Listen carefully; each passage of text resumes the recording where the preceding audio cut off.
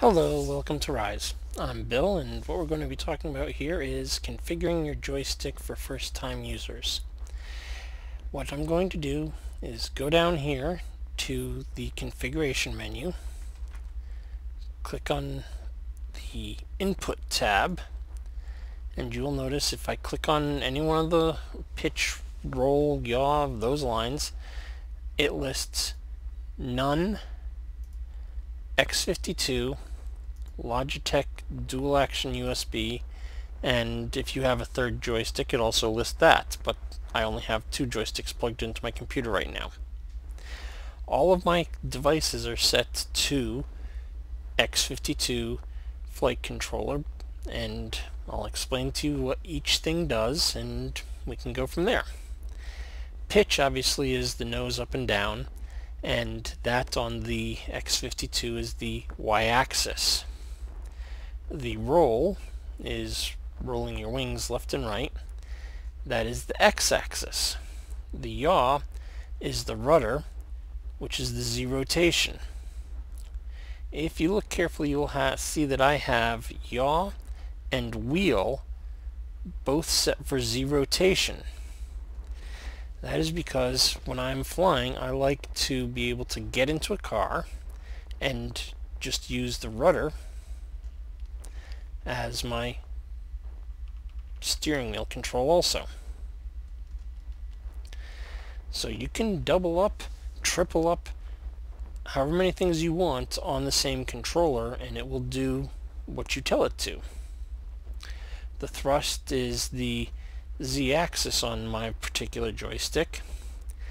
If you notice I have the left toe brake and the right toe brake set to the slider number one.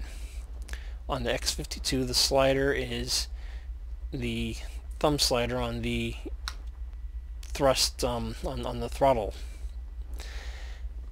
I have them the, both toe brakes set to that slider so that when I'm in an airplane that has differential braking I can't use differential braking. Frankly, I wouldn't want to without having a actual rudder pedal set that has real toe brakes because sliding two things simultaneously while flying just sounds like I'd need too many extra hands. Um, the gas I have set to the z-axis, which is the same as the thrust for the for the car and all aircraft and spaceships and the toe brakes are set to the same as the brake in cars. So let's power this up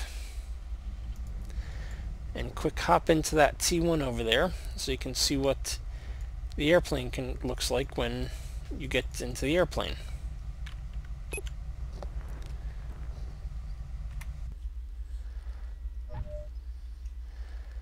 And I'm going to power this up.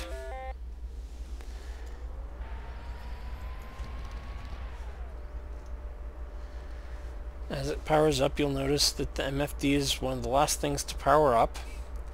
There's the over monitor, the contact list, and your primary flight display. I can move the joystick in and out, left and right, and also play with the rudders.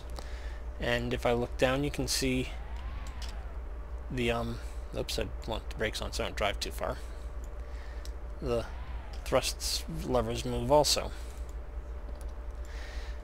And that's uh, E10 over there. I'm sorry, that's an E11 over there with the larger flight display.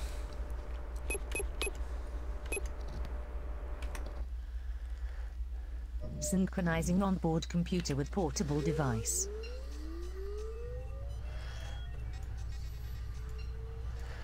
And okay. once again, I have full control because I set everything up the way I wanted it to.